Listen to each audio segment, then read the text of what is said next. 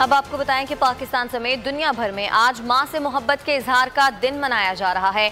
मगर रिफत बानो जैसी माँ भी हैं जो नाकल फौलाद की नाफरमाही की वजह से ओल्ड हाउस में ज़िंदगी गुजारने पर मजबूर हैं। मजीद बता रहे हैं शाहरुख शाह अपनी रिपोर्ट में।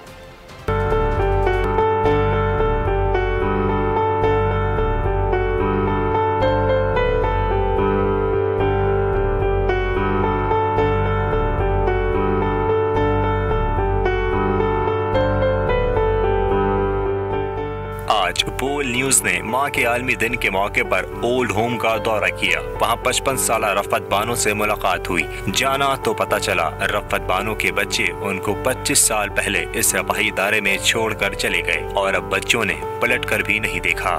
दो दफ़ा आया, मिलने दोनों दफ़ा चला, मुझे नहीं लेके, अपनी बीवी को लेके आया, बच्चे को लेके आया मिलने के लिए चला गया मैंने नहीं लेके आया। दिमाग के मरीज़ है नहीं खुद ही तंग करते थे मेरे को लगा घर भी भेज दी इसी चक्कर के अंदर कि हमारी माँ ना रहेगी ना घर बिकेगा तो अच्छा है। घर भेज देंगे तो हमें अलग घर लेके रहेंगे। ना अलग घर के लेके भी नहीं रहा मुझे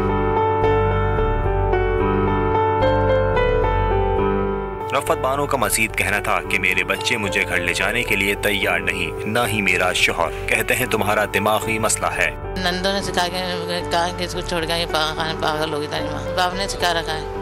बाप ने मना करा है हमको। मैंने इनके असल बेटे तो नहीं, मगर अम्मू बोले बेटे की हैसियत से इनके साथ इस दिन को मनाया। और जो वक्त गुजारा, इसके बदले मुझे बहुत मोहब्बत और बहुत सारा प्यार मिला। रफत बानो समेत ऐसी कई माएँ हैं, जिनकी वीरान आँखों में अपने बच्चों की दीद नज़र आती है, और वो इनके इंतज़ार की मुंतजर रहती हैं।